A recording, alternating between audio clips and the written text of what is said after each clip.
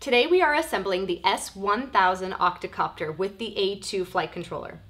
It is the latest and greatest in professional aerial photography and cinematography. It includes folding arms for easy transportation and retractable landing gear for a 360 degree view for the camera mounted underneath. Let's assemble. For assembly today, we are going to use Loctite and a two and a two and a half millimeter hex. The first step is to assemble the landing gear.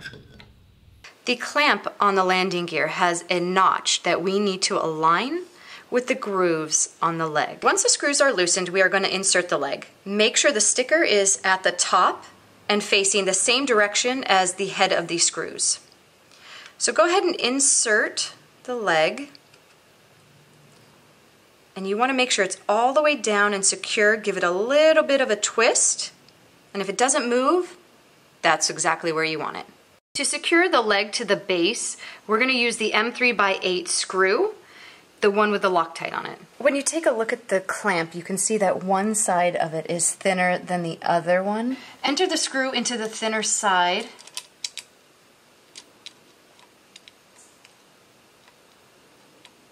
Use your two millimeter hex.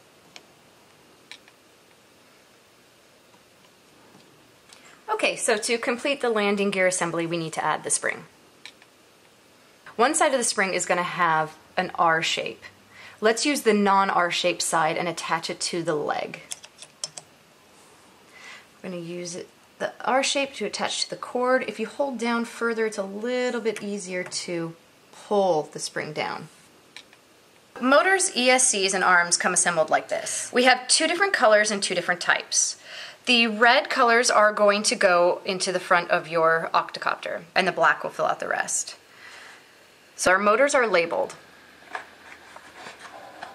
We have counterclockwise and clockwise, and they are clearly labeled counterclockwise.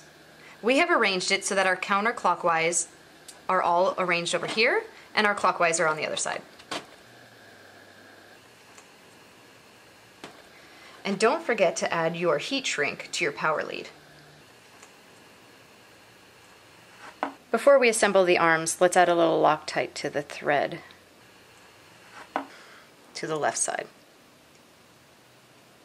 All right, so now let's attach our counterclockwise red to our M1 base using the M4 by 35 bolt and an 2.5 millimeter hex.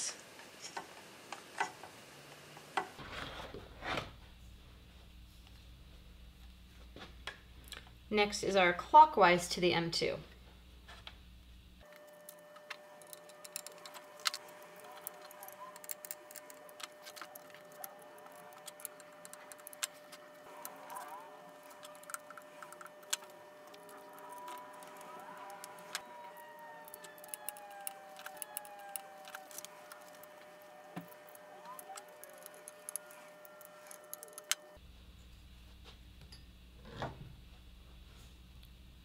So feed your power cable through the clamp and then lift the arm but make sure you don't crush any cables and then lock into position.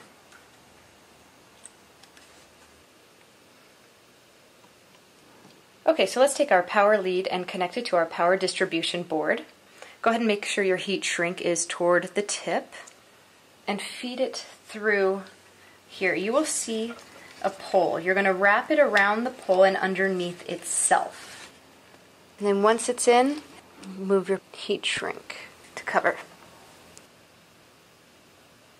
Now that all the power leads are connected and the heat shrink is covering the connectors, it's time to add some heat.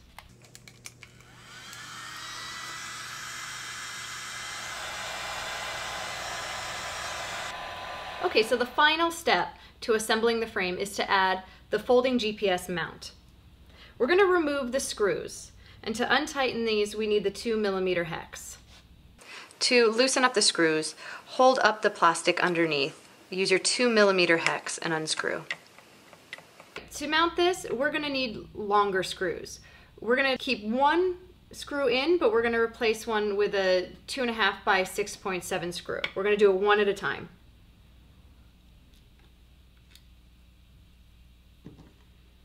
Gonna use our 2.0 hex again.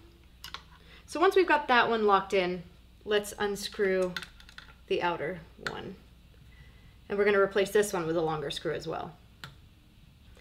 Thank you for watching. I'm Kim from Control Me, your multi-rotor specialist.